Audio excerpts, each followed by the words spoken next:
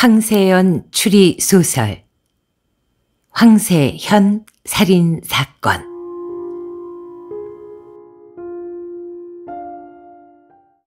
드디어 살인 사건이 화요일 아침 당직을 서다 살인 사건 신고를 접수받았을 때 내 가슴은 마구 뛰기 시작했다. 긴장과 흥분, 야릇한 설렘이 합쳐진 묘한 감정이었다.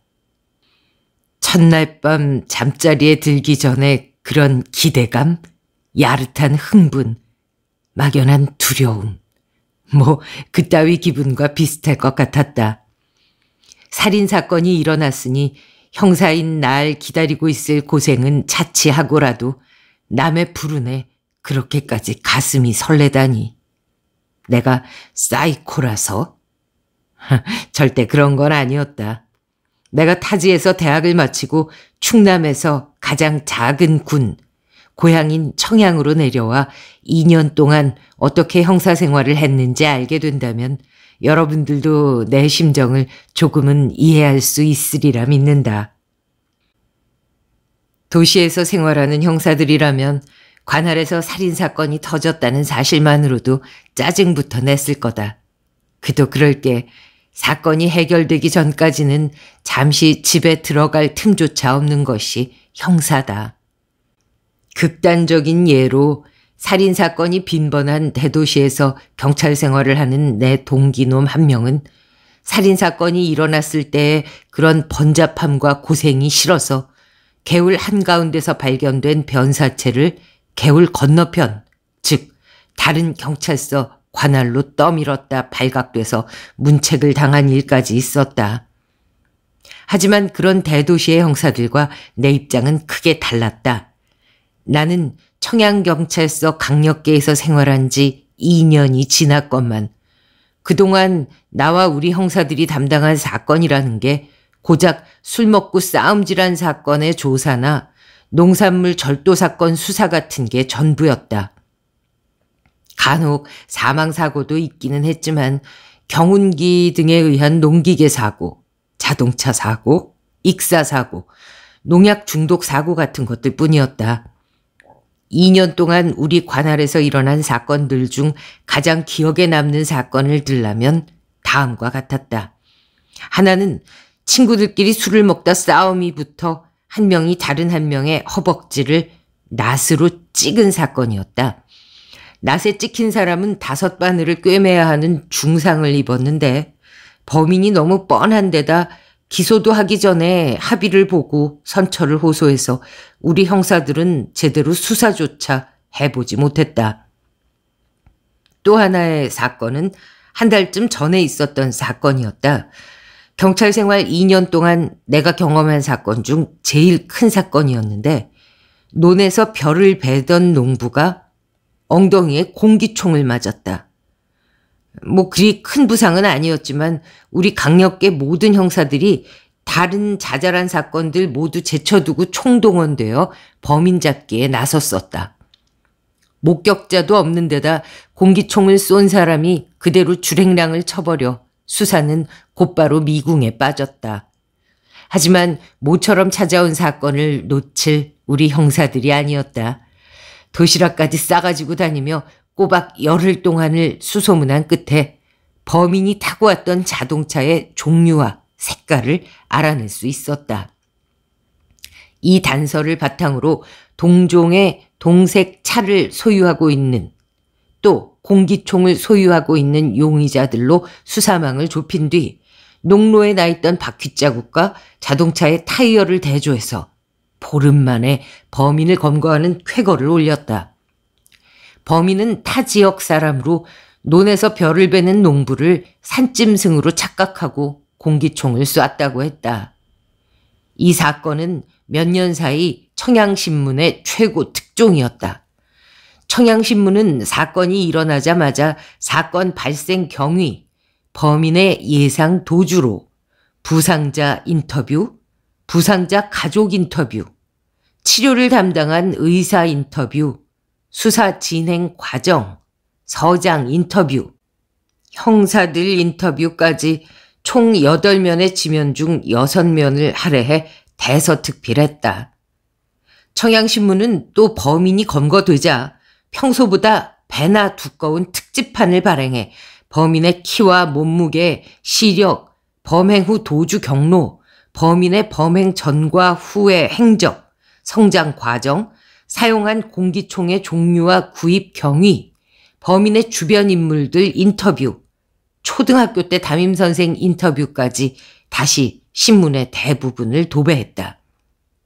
이런 평범하지 않은 동네에서 한 남자가 끔찍하게 피살됐다는데 형사인 내가 어찌 제정신일 수 있겠는가? 사건이 벌어진 곳은 청양읍에서 칠갑산 쪽으로 5km쯤 떨어진 곳에 위치해 있는 낙원 빌라의 마당이었다. 얼마 전에 도둑이 들었다는 신고를 받고 출동한 적이 있어 찾아가기는 어렵지 않았다. 낙원 빌라는 5층짜리 건물로 층층마다 한 명씩 모두 다섯 명이 새들어 살고 있었다. 집값이 서울 변두리 달동네에 같은 평수 전셋값만큼도 나가지 않았지만 그래도 청양군에서는 상당히 고급 빌라 축에 들었다.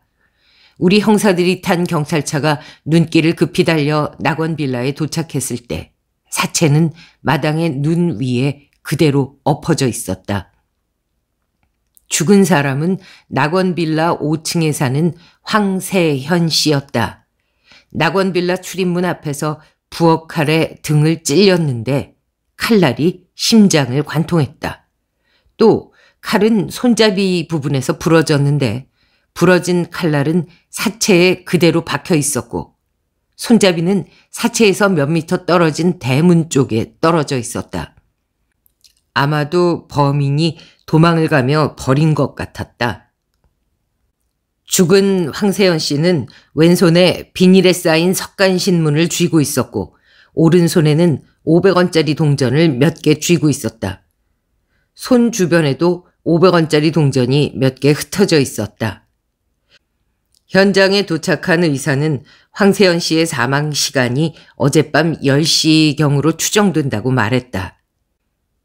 의사의 말이 아니어도 황세연 씨가 손에 석간신문을 쥐고 있고 눈을 맞지 않은 채 눈 위에 쓰러져 있는 점으로 보아 어젯밤 10시경에 살해된 것으로 충분히 짐작할 수 있었다. 어제 저녁 꽤 많은 눈이 내렸는데 10시경에 그쳤다. 대문에서 낙원빌라 현관으로 통하는 일직선상 이외에는 그 어디에도 사람의 발자국이 없었다. 범인이 담을 넘어 들어온 게 아니라는 얘기였다.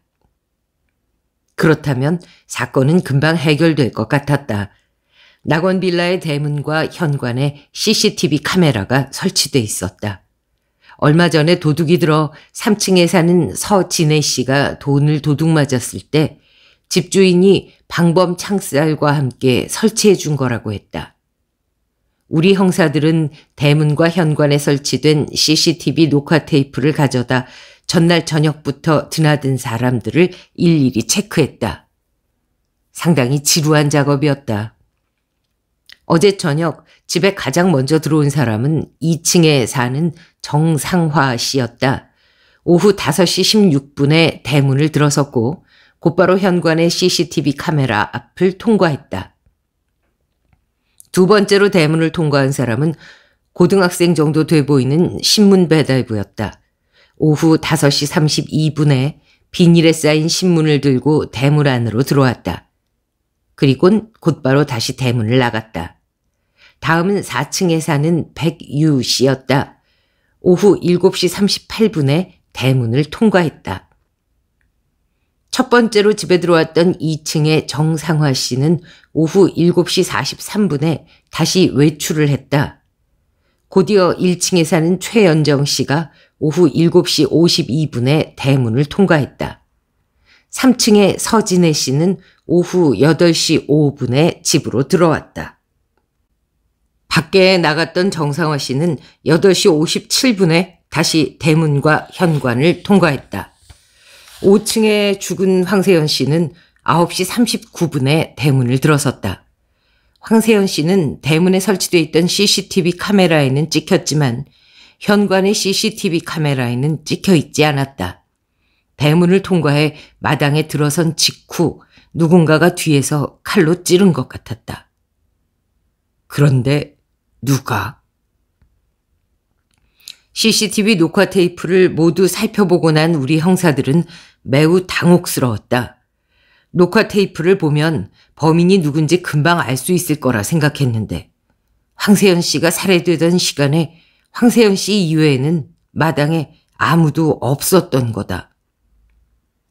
혹 범인이 들어오고 나갈 때 녹화가 되지 않은 건가 해서 CCTV와 녹화 테이프를 정밀하게 검사해 봤지만 단 1초도 CCTV가 멈췄던 적이 없었다. 아이, 귀신이 고칼 노릇이군. 청양경찰서 강력계에서 가장 나이가 많은 최순석 반장이 짜증스럽다는 듯이 한마디 내뱉었다. 형사들은 모두 한 가지 생각으로 귀결되고 있었다. 범인은 집안 사람으로 CCTV에 찍히지 않도록 베란다에서 줄을 타고 마당으로 내려가 황세현 씨를 살해했다는 추측. 우리 형사들은 다시 낙원 빌라로 향했다. 하지만 빌라에 도착해 보니 나의 짐작이 틀렸다는 걸 금방 알 수 있었다. 도둑이 든 뒤 1층부터 5층까지 설치해 놓은 방범 창살이 벽에 매우 견고하게 붙어 있어서 방범 창살을 뜯어내지 않는 이상 사람이 드나들 방법이 없었다. 창살 사이 간격도 좁아서 기껏해야 고양이 정도나 빠져나갈 수 있을 것 같았다. 우리는 혹시 범인이 옥상에서 줄을 타고 내려왔을지도 모른다는 생각에 옥상에 올라가 봤다. 하지만 눈이 쌓여 있는 옥상에는 고양이 발자국 하나 없었다. 도무지 범행 방법을 추측할 수 없어 답답한 마음에 나는 앞뒤도 생각해보지 않고 말도 안 되는 의견을 늘어놓기 시작했다. 범인이 낙하산을 타고 마당에 내려와서 어? 범행을 저지른 뒤에 헬리콥터를 타고 도망간 게 아닐까요? 아니면 열기구를 이용했을까요? 모두들 고개를 옆으로 저었다. 헬리콥터 소리 같은 게 들렸을 리 없고 열기구 역시 현실적으로 불가능하다. 그럼 도대체 어떻게 된 거야? 자살을 했나? 자살을 한 사람이 손도 닿지 않는 등에 칼을 꽂았단 말인가? 아씨, 도대체 범인이 누군지 짐작조차 안 가니. 하여튼, 범인은 힘이 무척 센 놈이 틀림없습니다. 등에 칼을 찔려서 심장을 관통당하는 거는 이 쉽지 않거든요. 그런데 칼이 꽂힌 각도가 이상하지 않습니까? 밑에서 올려 찌른 것도 아니고 이 위에서 내려 찌른 것도 아니고 등과 수직으로 찔렀어요. 박 형사의 말을 듣고 보니 정말 그런 것 같기도 했다. 칼을 잡는 법이나 찌르는 사람의 키에 따라 다르긴 해도 등에 칼을 찌르려면 아래에서 위로 찌르던지 위에서 아래로 내려 찔러야 자연스러울 것 같았다. CCTV 녹화 테이프로 범인을 잡으려 했던 우리 형사들은 예상이 빗나가자 소홀히 했던 초동 수사부터 다시 하기로 했다. 살해된 황세현 씨의 나이는 34, 혈액형 O형, 키 175, 몸무게 75, 고향은 서울, 석사학위를 취득했으며 미혼이었다. K회사 사장의 아들로 청양군 장평면에 있는 K회사의 공장에서 기술자로 일하고 있었다. 우리는 먼저 황세현 씨의 방으로 올라가 방 안을 살펴보았다. 황세현 씨가 살해된 어젯밤 황세현 씨의 방에 도둑이 들었던 것 같았다. 방문의 잠금 장치가 파손되어 있었다. 문틈에 지렛대가 될 만한 단단한 쇠붙이를 밀어넣고 힘을 주어 강제로 문을 연 것 같았다. 집안은 뒤진 흔적이 거의 없었는데 싱크대에서 부엌칼이 보이질 않았다. 어디에서도 부엌칼이 발견되지 않은 걸로 봐서 황세현 씨는 자신이 사용하던 칼에 의해 살해됐을 확률이 높았다. 장롱을 열어보니 장롱 속에 들어있는 미니 금고가 파손되어 있었다. 망치와 정을 이용해 금고 문을 억지로 뜯어낸 것 같았다. 범인은 도둑질을 목적으로 황세현 씨를 살해한 게 틀림없군요. 내 의견에 공감한다는 듯 모두 고개를 끄덕였다. 그런데 이 도둑질만 할 것이지 왜 사람까지 죽였을까? 이 일을 제기한 사람은 최순석 반장이었다. 어, 그건 그러네요. 어, 이거 봐요. 금고를 연 박 형사가 가리킨 것은 금고 속에 들어있는 어떤 종이 뭉치였다. 이거 CD라고 불리는 무기명 채권 아닌가요? 오, 정말. 천만 원짜리가 이만큼이면은 이거 이거 이거 몇억 원어치는 되겠는데. 아, 이게 바로 그 현금하고 똑같다는 그건가요? 어? 출처 밝히지 않아도 되고 불법 상속이나 돈 세탁에 자주 쓰인다는 그거요. 무기명 채권이라는 걸 처음 본 나는 신기하기만 했다. 근데 이런 걸 안 훔쳐가고 범인은 대체 뭘 훔쳐갔을까요? 그러게 말입니다. 아, 혹시 몰래카메라 테이프 같은 게 있었던 게 아닐까요? 누군가 황세현 씨한테 협박을 당하다가 결국 황세현 씨를 죽이고 테이프를 훔쳐간 게 아닌지? 내 말에 형사들이 대답 대신 피식 웃었다. 어라, 황세현 씨 생맹인가 본데요? 정록 생맹. 장롱 문 안쪽에 있는 넥타이 거리 위에 빨간색, 파란색이라고 쓰인 라벨이 붙어 있었다. 음, 그런가 보군. 녹색하고 빨간색을 구별 못하니까 섞이지 않게 구분해 놓고 옷 색깔에 맞춰서 넥타이를 매왔던 모양이군. 그런데 이상한데. 왜 빨간색과 파란색이 죄다 반대로 걸려 있지? 정말 그랬다. 빨간색이라고 쓰인 글씨 밑에는 모두 푸른색 계열의 넥타이가 걸려 있었고, 파란색이라고 쓰인 글씨 밑에는 모두 붉은 계열의 넥타이가 걸려 있었다. 범인도 생맹이었던 거 아닐까요? 금고를 찾을 때나 부술 때 넥타이를 실수로 몽땅 떨어뜨렸다가 나중에 원래대로 다시 걸어 놓는다고 걸어 놓은 게 이 생맹이라서 완전 반대로 걸어 놓은 건 아닌죠? 음, 글쎄. 무슨 생각을 하는지 최순석 반장은 이번에도 내 의견에 동의를 하지 않았다. 내 생각에 범인은 틀림없이 내부 사람이야. 금고가 털렸는데 외부 사람이 낙원 빌라 안으로 침입한 흔적이 어디에도 없잖아. 자, 집안 사람들을 모두 이 방으로 모이라고 해. 최순석 반장의 지시에 따라 나는 각층을 돌아다니며 사람들을 불러 모았다. 어젯밤 10시경 이상한 소리 들으신 분 없습니까? 비명소리라든지. 낙원빌라에 거주하는 네 사람이 서로의 얼굴을 쳐다보다 한결같이 고개를 옆으로 흔들었다. 어, 시체를 맨 처음 발견한 사람이 최연정 씨죠.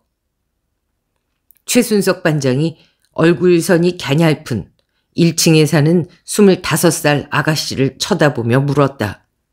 최연정 씨는 털이 눈처럼 하얀 고양이를 품에 꼭 끌어안고 있었다.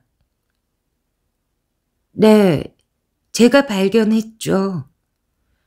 그때 상황을 말씀해 주시겠습니까? 아침 6시경 운동을 하기 위해서 출입문을 나서는데 현관문 앞에 황세현 씨가 쓰러져 있었어요. 술 좋아하는 사람이니까 처음에는 술 먹고 자나 보다 했는데 피가 최연정 씨는 생각만 해도 끔찍하다는 듯이 몸을 한 번 부르르 떨었다. 당시 뭐 특이한 점은 없었나요? 어떤 글쎄요, 뭐랄까. 시체의 위치, 뭐 그런 거요.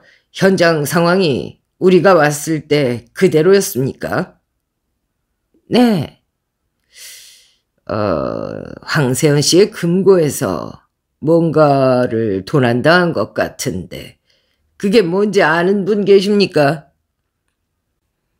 각층에 사는 네 사람이 서로의 얼굴을 번갈아 쳐다보며 모른다는 소리를 했다.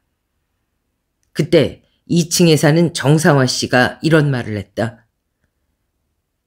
어, 혹시 복권이 아닌지? 정상화 씨는 30대 중반으로 잘 발달된 몸매가 운동선수를 연상시켰다. 이틀 전 일요일 밤에 황세현 씨가 복권에 당첨됐다는 얘기를 했거든요. 월요일인 어제는 볼 일이 있어서 시간이 없다면서 오늘 서울에 올라가 은행에서 바꿀 거라고 했었는데. 어, 맞아요. 나도 그 얘기 들었어요. 나도요. 음, 나도. 네 사람 모두 그 얘기를 들었다고 증언했다. 그 복권을 보셨습니까? 아, 보지는 못했습니다. 정상화 씨였다. 나도 보지는 못했는데 5천만 원짜리라고 했던 것 같은데. 서진애 씨였다. 서진애 씨는 30대 후반의 여성으로 이지적인 얼굴과 빼어난 몸매를 가지고 있었다. 외모만 본다면 20대 후반이라고 해도 속아 넘어갈 것 같았다. 서진애 씨는 나하고 안면이 있었는데 전에 도둑이 들었다고 신고했던 사람이다. 당시 100만 원 정도를 도둑 맞았었는데 앞에서 밝힌 역사상 최대의 사건인 공기총 사건이 터지는 바람에 허술하게 수사를 한 면이 없지 않아 미안한 마음이 늘 있었다. 나는 3천만 원짜리라고 들었는데 고개를 갸웃거리며 뛰어든 사람은 백유 씨였다. 40대 초반의 남자였다. 저도 3천만 원짜리라고 들었는데요. 최현정 씨가 백유 씨의 말을 거들었다. 아, 무슨 복권이었는지 아는 분 있나요? 다시 네 사람이 서로의 얼굴을 쳐다봤다. 더블 복권이라고 했던가, 또또 복권이라고 했던가. 하, 요즘 복권이 너무 많아서 확실히는 모르겠는데요. 정상화 씨뿐만 아니라 다른 사람들도 복권의 종류를 모르는지 굳게 입을 다물고 있었다. 음, 그러면요. 혹시 이 중에 정록 생명인 분 있습니까? 최순석 반장의 말에 사람들이 모두 최현정 씨를 쳐다봤다. 최현정 씨는 도둑질을 하다 들킨 사람처럼 갑자기 얼굴이 창백해졌다. 제가 정록 생명인데요. 왜요? 어, 별거 아닙니다. 그때 박 형사가 방 안으로 들어와 최순석 반장을 밖으로 불러냈다. 무슨 일인지 궁금해 나도 따라 나섰다. 어, 낙원 빌라 거주자들의 신원조회를 마쳤는데 4층에 사는 백유한테 전과가 있었습니다. 금고털이 전과 3범이요. 손을 씻었다면서 요즘 한동안 범죄를 저지르지 않은 모양이지만 못다는 금고가 없는 놈이라네요. 예전에 한민당 당사 출입문을 따고 들어가서 흔적 하나 남기지 않고 금고를 털었던 놈이 바로 저 백유예요. 음, 알았어. 수고했네. 반장님, 한 가지 더. 박 형사가 황세현 씨의 방으로 돌아가려고 하는 최순석 반장을 불러 세웠다. 2층에 사는 정상화 씨는요, 상당한 실력을 가진 암벽타기 전문가래요. 아마 빌딩도 쉽게 기어오르 내릴 수 있을 거라는데요. 뭐, 참고가 될까 싶어서요. 알았네. 고개를 끄덕이고 난 최순석 반장은 다시 죽은 황세현 씨의 방으로 들어갔다. 정상화 씨는 직업이 뭡니까? 저요? 저는 은행에서 일하는데요. 무슨 일을 하지요? 뭐, 그냥 잡다한 업무를 합니다. 음, 무기명 채권 같은 것도 취급합니까? 아, 예전에는 많이 취급했는데 요즘에는 부서가 바뀌어서 좋습니다. 최순석 반장이 잠시 사람들을 노려봤다. 음, 서진애 씨. 서진애 씨는 직업이 뭡니까? 미용사인데요. 혹 정록 생명은 아닙니까? 아니에요, 저는. 서진애 씨가 생사람 잡지 말라는 듯이 두 손을 마구 흔들었다.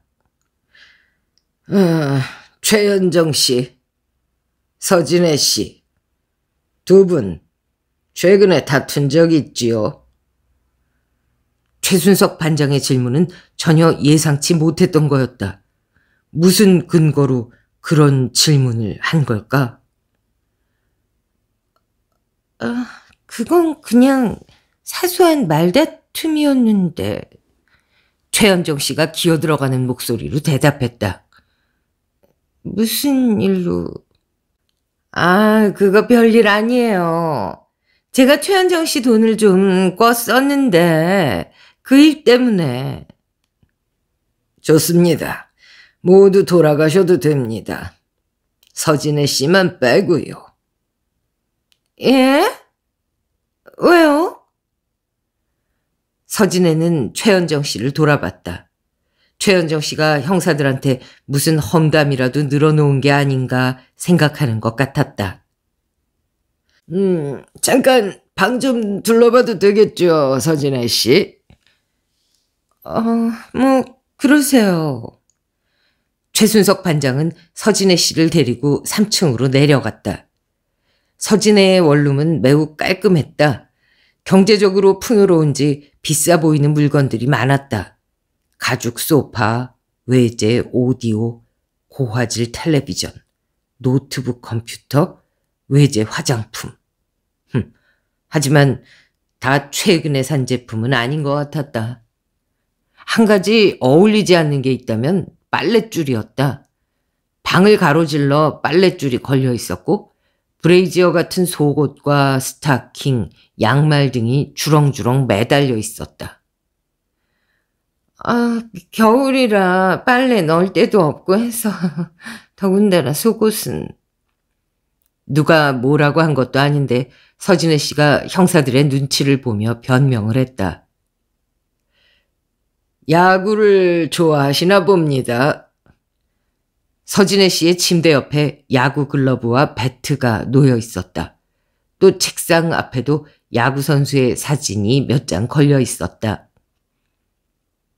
흉기라도 찾는지 최순석 반장이 베란다로 나가 베란다를 꼼꼼히 둘러봤다. 나도 최 반장을 따라갔다. 하지만 특별히 살펴볼 만한 게 없었다.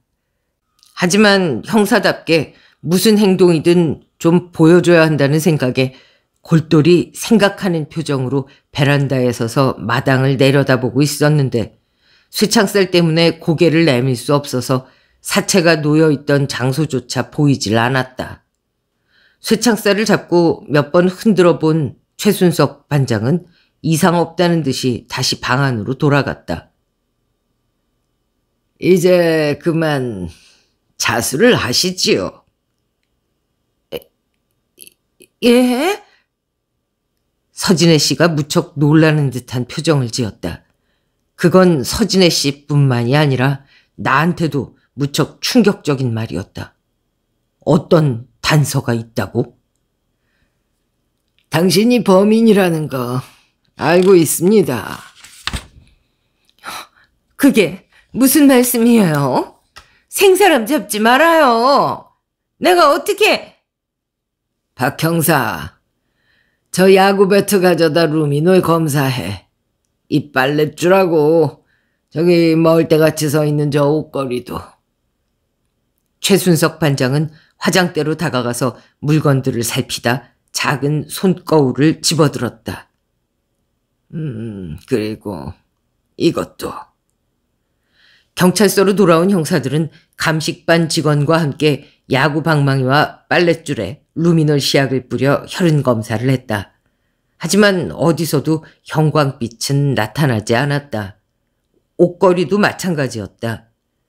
서진혜 씨가 경찰서에 불려온 건 다음 날 오전이었다. 우리 이제 그만 끝내지요. 내 생각대로 혈흔이 발견됐습니다. 황세현 씨의 혈액형과 같은 O형이었습니다. 현재 국과수의 유전자 검사를 의뢰해 놓은 상태입니다. 최순석 반장은 낯빛 하나 바꾸지 않고 거짓말을 꾸며댔다. 그런데 그 말도 안 되는 거짓말에 서진혜 씨가 의외의 반응을 보이기 시작했다. 눈에서 눈물이 조금씩 비치는가 싶더니 갑자기 고개를 푹 숙였다. 왜 그랬죠? 죄송해요. 정말 죄송해요. 형사들은 잠시 서진우 씨가 진정되기를 기다려야 했다.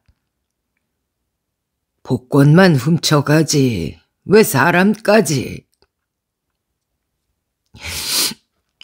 빚에 쪼들리다가 복권을 훔치려고 보니 황세현 씨가 집에 돌아오면은 복권이 없어진 걸 알고 녹색 복권 몇 번 몇 번 도둑 맞았다라고 신고를 할 것 같았어요. 그러면 그 복권을 돈으로 바꿀 수 없잖아요. 그래서 그 복권은 지금 어디 있죠? 제발 장판 밑에요. 일주일쯤 뒤 현장 검증이 있었다. 서진혜 씨는 수갑을 찬 채 황세현 씨를 죽이는 과정을 그대로 재현했다. 현장 검증하는 내내 서진혜 씨는 고개를 떨구고 있었다. 그녀는 마당에 놓여 있는 석간신문이 황세현 씨가 구독하는 거라는 걸 잘 알고 있었다. 집에 들어오며 신문이 떨어져 있는 곳에 미리 준비해둔 500원짜리 동전을 몇 개 뿌려 놓았다. 건물 안으로 들어간 서진혜 씨는 황세현 씨의 방문을 부수고 들어가 황세현 씨가 쓰던 부엌 칼을 들고 나왔다. 서진혜 씨는 자신의 방에서 부엌 칼을 야구 방망이에 묶어 창처럼 만든 뒤 칼 반대쪽 야구 방망이의 손잡이에 빨랫줄을 묶었다. 살인 도구가 준비되자 방에 있던 옷걸이를 창문의 쇠창살 사이로 내민 뒤 그걸 받침대로 사용해 야구 방망이와 야구 방망이가 묶여있는 줄을 밑으로 늘어뜨렸다. 마치 낚시라도 하는 것처럼. 손거울로 비춰보며 방망이를 아래로 늘어뜨려 동전이 있는 부분에 정확히 떨어지도록 조절을 하고 난 서진혜 씨는 낚시꾼이 물고기를 기다리듯 황세연 씨가 퇴근하기를 기다렸다. 황세연 씨가 다른 때와 비슷한 시간에 집으로 들어와 신문을 집었고 또 그때 신문 주변에 떨어져 있는 500원짜리 동전 몇 개를 발견하고 줍기 시작했다. 그 순간 서진혜 씨는 칼이 묶인 야구 방망이를 황세연 씨의 등을 향해 떨어뜨렸다. 미리 칼이 묶인 방망이가 떨어질 위치를 측정해 놓은 터라 칼은 황세연 씨의 등에 정확히 꽂혔다. 높은 곳에서 떨어진 야구방망이의 힘에 의해 칼날은 등을 관통하고 심장을 관통해 앞가슴으로 뚫고 나왔다. 하지만 야구방망이의 끝이 등에 맞고 나서 옆으로 쓰러지며 칼날이 부러졌다. 서진혜 씨는 급히 빨랫줄을 잡아당겨 야구방망이를 회수했다.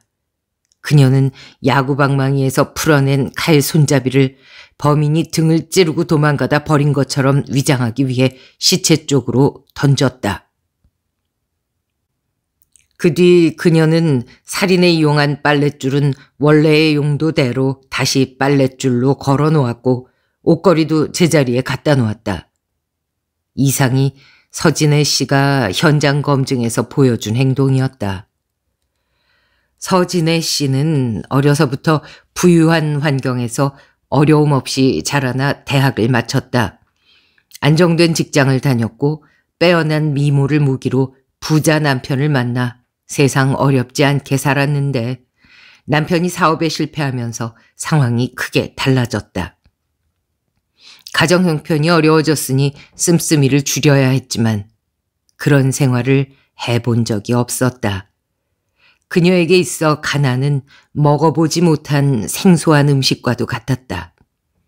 돈이 없으면서도 부유할 때 친구들과 어울리다 보니 빚이 자꾸만 늘어갔고 결국은 친구들에게까지 돈을 꾸기 시작했다. 하지만 돈을 꾸고 갚지 않자 친구들까지 그녀를 멀리하기 시작했다. 서진애 씨는 남편과도 결국 이혼을 했다. 그녀는 거의 파산 지경에 이르러서야 집값 싸고 아는 사람도 없으며 일자리가 있는 이곳 청양으로 이사를 왔다. 그런데 이사를 오고 얼마 지나지 않아 도둑이 들어서 남은 마지막 비상금까지 모두 도난당하고 말았다. 취직을 했다지만 그 돈은 한동안 생활을 하는 데 있어 없어서는 안 될 돈이었다. 이런 어려운 상황에서 같은 건물에 사는 황세현 씨로부터 복권에 당첨됐다는 소리를 듣자 훔쳐야겠다는 생각을 떨치기 힘들었다. 그렇잖아도 부잣집 아들인 황세현 씨가 돈을 물 쓰듯 쓰는 것이 배 아팠는데 그런 사람이 복권까지 당첨되다니 참을 수 없을 만큼 배가 아팠다. 또 이왕 도둑질을 할 거면 애써 번 돈을 훔치는 것보다는 부자가 불로소득으로 번 돈을 훔치는 게 양심의 가책이 덜 될 것 같기도 했다. 이것이 서진애 씨의 범행 동기였다. 처음에 서진애 씨는 복권만을 훔치려고 했는데 그것이 가능하지 않다는 생각이 들자 결국 사람까지 죽이게 된 것이었다. 거짓말 시키고 범인을 잡아서 찔리지 않으세요? 회식 자리에서 술을 따라주며 내가 최순석 반장에게 농담을 건넸다. 음, 그럼 어쩌겠어. 증거가 없는데. 어쨌든 뭐 무고한 사람을 잡아놓은 건 아니잖아. 최순석 반장이 씁쓸하게 웃었다. 거짓말 해가지고 그 장판 밑에서 복권 찾아내지 못했더라면은 아, 완전 범죄가 될 뻔했어요. 음, 세상에 완전 범죄가 어딨어. 우리가 능력이 부족해 증거를 찾지 못한 것 뿐이지. 그런데 서진혜 씨가 범인인 건 어떻게 아셨습니까? 외부에서 침입한 흔적이 없으니 범인은 분명히 낙원 빌라 내부인일 텐데 1층에 사는 최현정 씨는 범인일 수가 없잖아. 왜냐? 생명이기 때문이지. 만약 범인이 정록 생명이었다면 바닥에 떨어진 넥타이의 색깔을 뒤섞어서 아무렇게나 걸었지. 그렇게 빨간색, 파란색, 어, 정확히 구별해서 반대로 걸 수는 없단 말이야. 생명이 아닌 범인이 평소에 감정이 있던 최현정 씨한테 누명을 씌우려고 한 짓일 텐데, 오히려 범인의 그런, 음, 좀 과도한 행동이 최현정 씨가 무죄라는 걸 증명해 준 셈이 됐지. 아, 그렇군요. 그러면은 2층에 사는 정상화 씨는요? 2층에 사는 정상화 씨도 범인이 아니지. 복권을 훔쳐가려고 살인까지 한 사람이 은행에서 일하는 사람, 음? 무기명 채권이 뭔지 아는 사람이 그걸 그대로 놔두고 갔다고? 범인은 무기명 채권이 뭔지 몰라서 가져가지 못했던 거야. 천만 원짜리 무기명 채권이 천만 원짜리 수표쯤 되는 줄 알고 가져가도 아무 쓸모 없다는 생각을 했던 거란 말이야. 4층에 어, 사는 백유 씨는요? 4층에 사는 백유 씨도 범인일 확률이 거의 없었지. 금고털이 전문가가 금고를 부쉈다? 이상하지 않아? 복권 주인을 살해한 뒤 흔적을 남기지 않고 복권만 훔쳐가면 남들은 도둑이 들었다는 사실조차 모를 수 있는데 힘들게 금고를 부숴서 도둑이 들었다는 걸 굳이 알릴 이유가 없잖아. 어? 금고 털이 전문범이 말이야. 아, 그렇군요.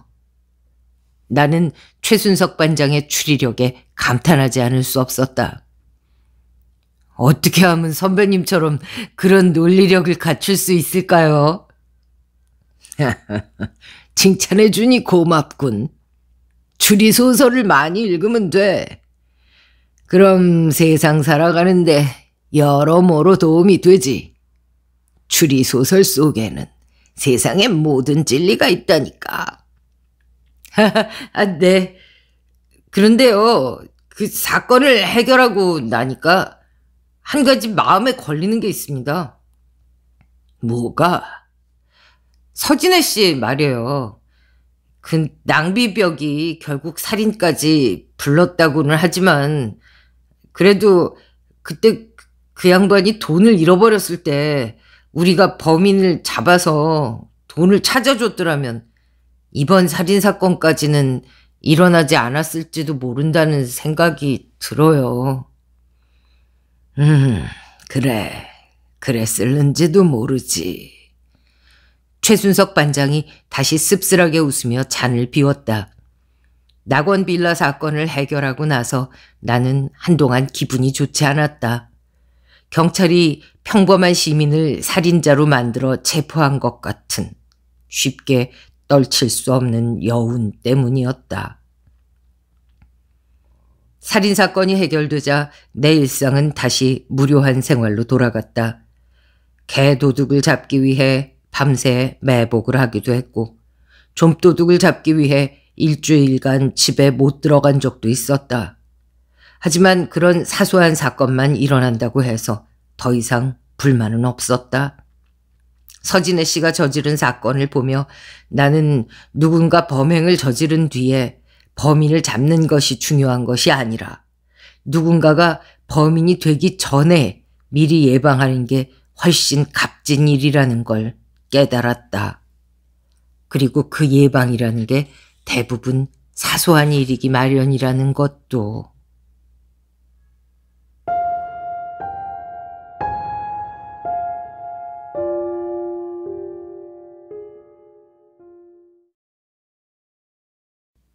네, 오늘은 2001년 베스트 추리소설 모음집에 실린 두 편의 단편 추리소설 소개해 드리면서 중간에 아주 잠깐 제가 최근에 어, 너무 재미있게 읽고 있는 어, 건강 어, 도서 한 권 추천해 드리려고 합니다.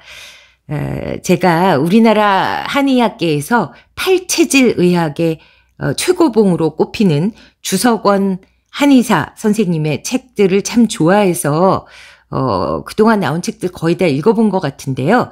어, 또 팔체질 의학 책을 내셨다면은 제가 아마 안 권해드렸을 거예요. 근데 요번에 전혀 새로운 건강 지침서를 내놓으셨습니다.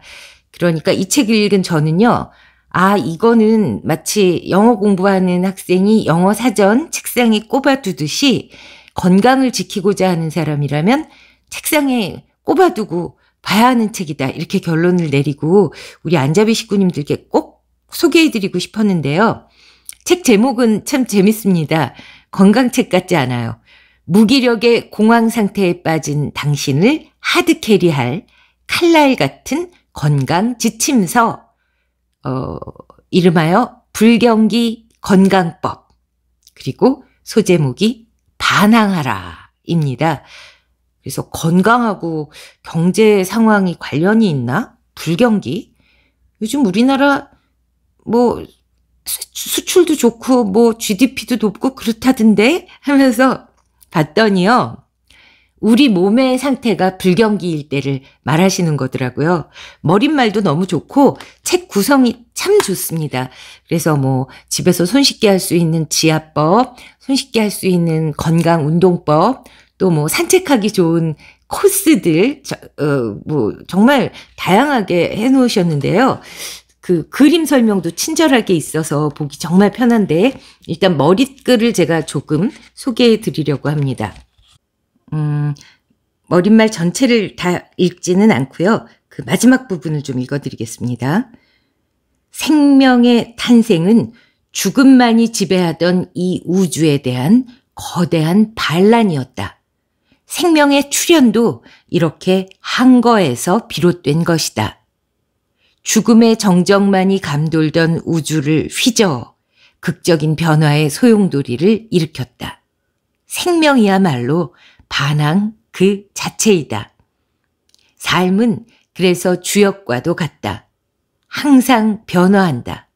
끊임없이 바뀐다. 삶은 여기다. 그러니 바꿔라. 자신의 처지를 한탄만 하지 말고 지금 당장 반항하라. 지금 여기서 처절하게 한거하라. 내 고귀한 몸을 위하여, 나의 진짜 건강을 위하여, 새로운 건강을 여는 치열한 반항의 몸짓이 여기 있다. 이것이 개벽이 아니고 무엇이랴. 그대의 고난을 자부심으로 받아들여라. 나는 반항한다. 고로 우리는 존재한다. 네. 어, 건강 지침서의 머릿말로는 굉장히 어, 파격적인 그런 음, 재미가 있죠. 네. 어, 이 책의 목차는요. 첫 번째는 일단 건강하게 먹기. 근데 이번에는 팔체질식으로 세분화해서 써놓진 않았고요. 그냥 내 몸에서 이런 증상이 났다 할 때는 이런 음식 안 먹는 게 좋다. 뭐 이런 굵직한 총론을 담았습니다. 그 다음에 이제 운동법이 저는 아주 마음에 들었는데요. 저처럼 움직이기 싫어하고, 어, 그런 사람들을 위해서 이제 제가 페이지를 보여드릴게요. 뒤꿈치 들기 운동. 어, 요거 얼마나 간단합니까? 요런 거. 이게 장단지 근육 강화인데요. 제가 전에 들으니까 사람의 수명 건, 수명과 건강은 이 장단지 근육이 가늠한다던데요. 물론 허벅지 근육이 제일 어, 몸에서 중요한 근육이지만 이 장단지 근육, 종아리 근육이 또 엄청 중요하다고 하더라고요. 그 다음에 의자에 앉아 있는 채로 하는 스트레칭 이런 것들 저는 정말 좋았습니다. 그 다음에 저는 침, 지압 이런 데도 관심이 있는데요. 지압법도 굉장히 자세하게 설명을 해 두었어요. 그래서 제가 요번에 너무너무 음, 우리의 일상생활에 도움이 되는 친절한 건강 이용 지침서가 나와서 건강 레시피라고나 할까요? 음, 건강 지킴 레시피. 잠깐 소개해 드렸고요. 자, 이제 바로 다음 단편 소설 이어가겠습니다.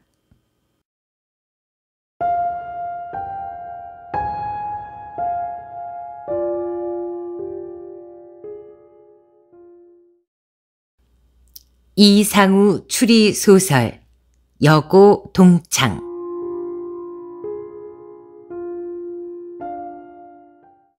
어머예, 꼭 요정의 집에 온 것 같다.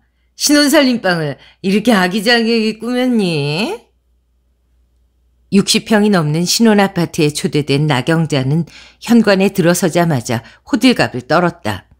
겉으로는 감탄과 선망의 공치사를 했지만 속에서는 질투와 시기의 마음이 부글부글 끓고 있었다. 겉으로 보기에는 단짝같이 친한 여고 동창생 나경자와 조은하.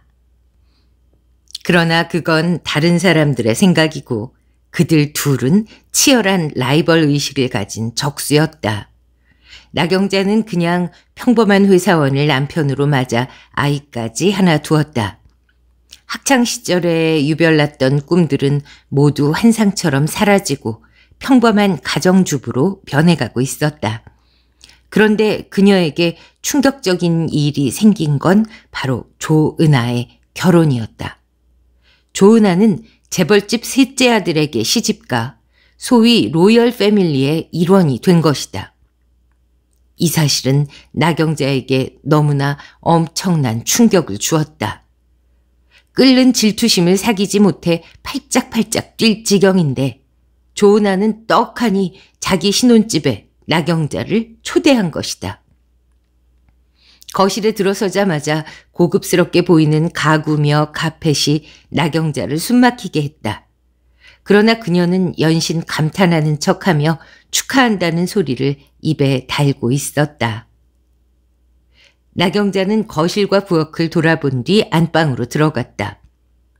외국제로 보이는 경대가 먼저 눈에 띄었다.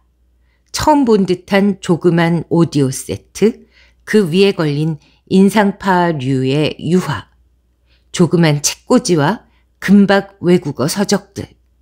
이런 것들이 품이 있어 보였다. 어머, 얘 은하야. 이경대 진짜 참 좋다.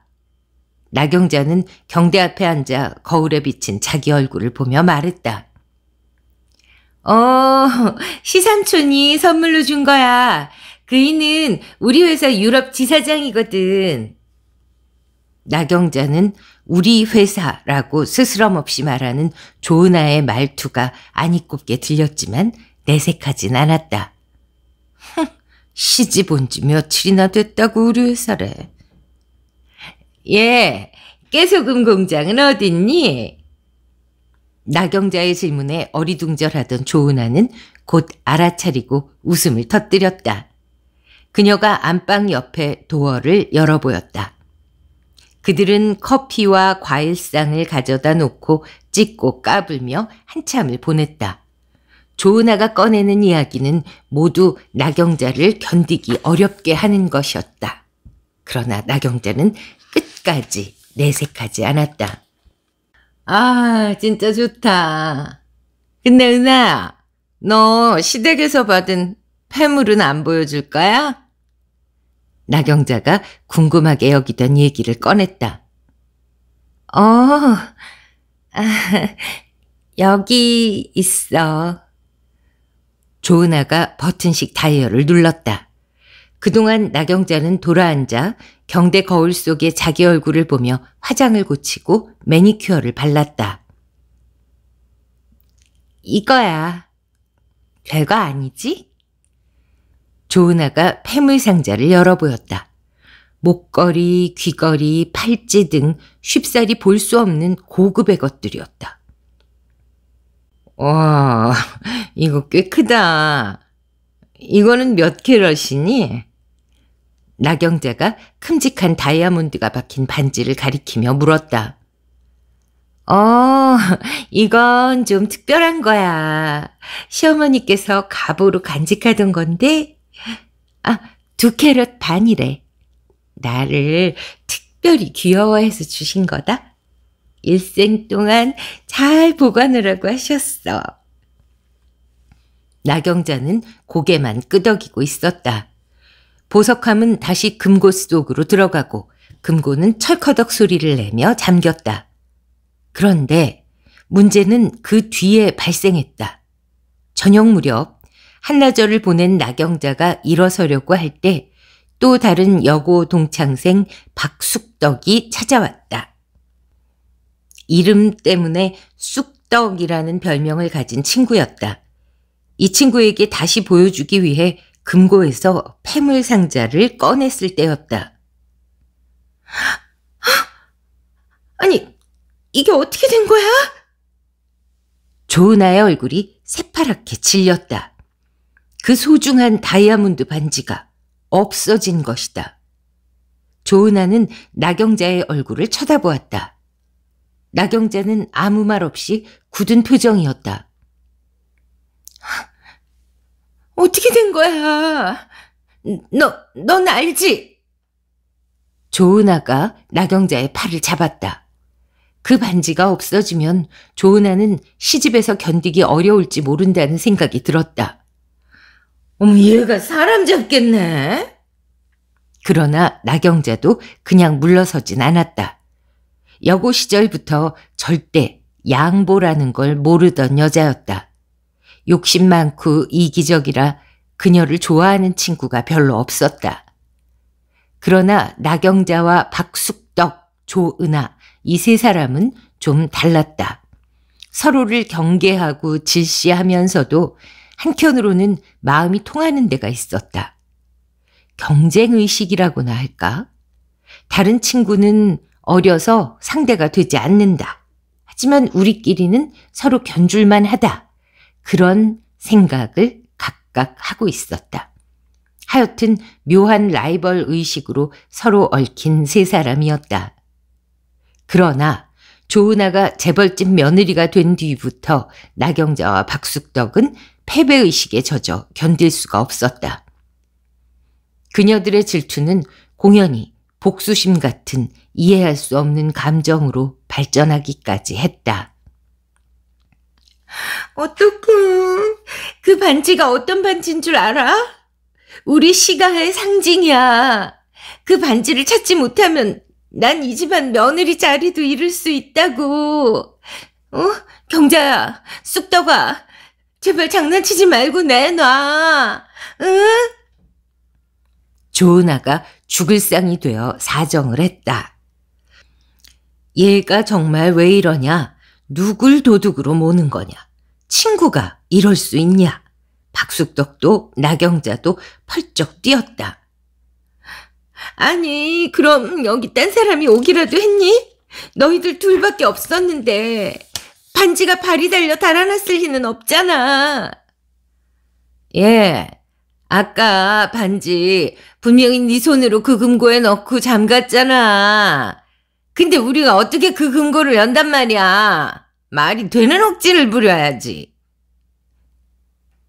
어머, 나는 금고 여는 것도 반지도 보지 못했어. 나 의심하는 건 아니겠지? 박숙덕이 다짐을 했다. 결국 반지는 찾지 못하고 서로 말다툼만 하다가 박숙덕이 경찰을 불렀다. 현장에 달려온 강영사는 자초지종을 듣고 나서는 다시 차근차근하게 묻기 시작했다. 먼저 박숙덕 씨께 묻겠습니다. 조은아 씨가 반지를 금고 속에 넣는 걸 봤습니까? 아니요, 난 반지도 금고 여는 것도 본 적이 없어요. 그럼 이 방에 혼자 계셨던 적은 있습니까? 네. 조금 전에 은하가 부엌해갖고 경자가 화장실 들어간 뒤에 잠깐 혼자 앉아 있었죠. 결혼식 앨범 보고 있었어요. 강영사가 이번에는 나경자를 보고 물었다. 나경자 씨는 혼자 앉아 있은 적이 있습니까? 글쎄요. 나경자가 애매한 표정을 짓자 조은아가 말했다. 내가 사과 깎으러 갔을 때 혼자 있었잖아. 그때는 쑥떡이가 오기 전이야. 그건 반지를 보여준 뒤입니까? 강 형사가 나경자의 표정을 살피며 말했다. 보여준 뒤에요. 조은아가 대신 대답했다. 음, 그렇군요. 그럼 반지를 꺼낼 때 나경자 씨가 보고 있었습니까? 다이얼을 돌릴 때 말이죠. 강 형사가 다시 나경자를 흘낏 보면서 조은아에게 물었다. 난요, 그때 여기 돌아앉아서 화장 고치고 있었어요. 흠, 거울을 들여다보면서 말이죠. 무슨 뜻이에요? 손거울 속으로 다이얼 돌리는 걸 봤겠군요. 그리고 비밀번호도 외우고요. 뭐라고요? 생사람 잡지 말아요. 친구가 시집 잘 간 게 아무리 배 아프더라도 그런 짓을 해서는 안 되죠. 반지 돌려주세요. 강형사가 단정적으로 말하며 나경자를 정면으로 쳐다보았다. 친구들끼리 장난친 걸로 생각하고 문제 삼지 않을 테니까 돌려주세요. 강형사가 다시 정색을 하고 나경자에게 말했다.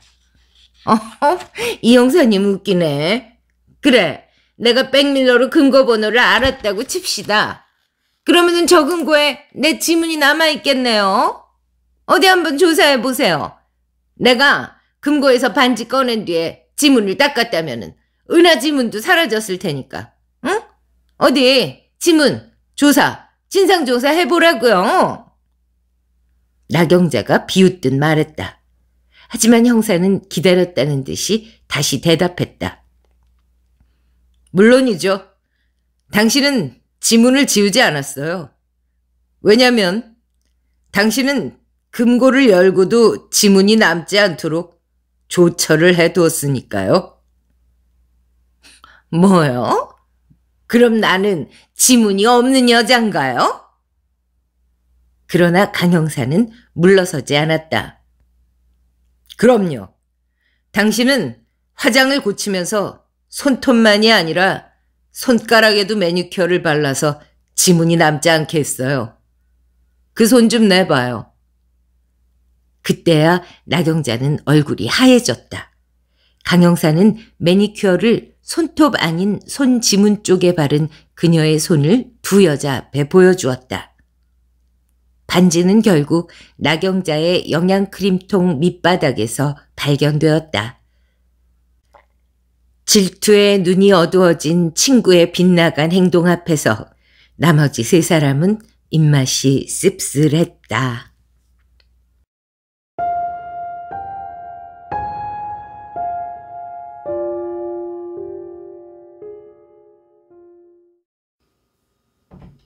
네.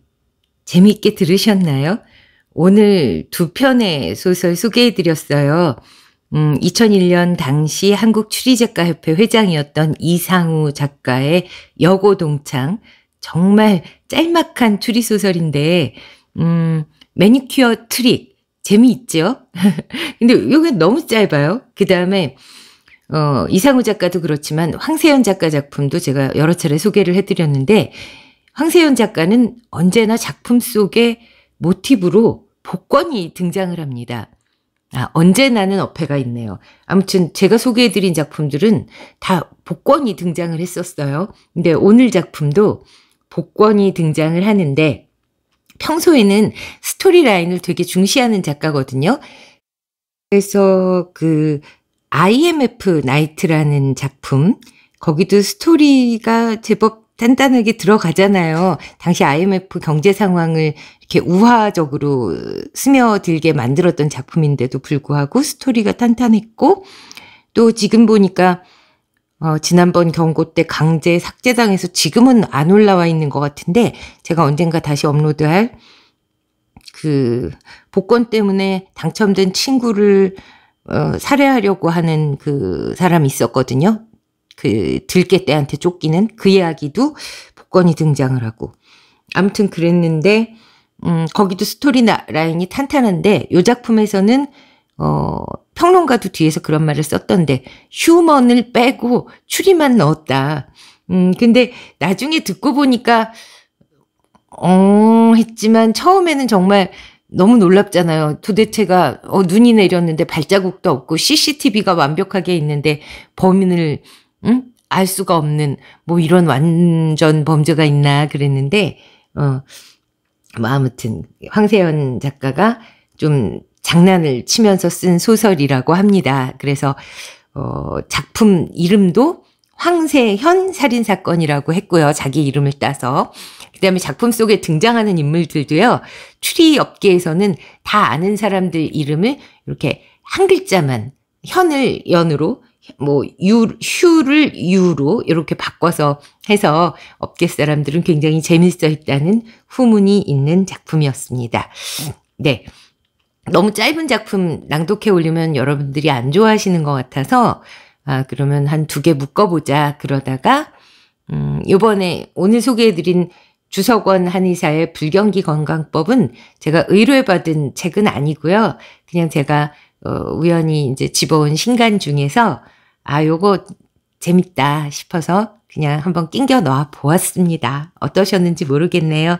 네, 여러분, 앞으로도 열심히 쉬지 않고 낭독하겠습니다. 감사합니다. 좋아요, 구독, 댓글, 공유, 알림 설정 부탁드립니다.